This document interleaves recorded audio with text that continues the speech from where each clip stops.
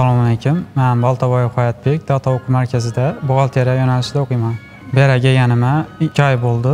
Noldan balansgacha ya'ni nazariy qismini o'rgandim. Hamda korxonada buxgalteriya hisobini e, excel dasturida shakllantirishni va soliq hisoblarini yuborishni o'rgandik.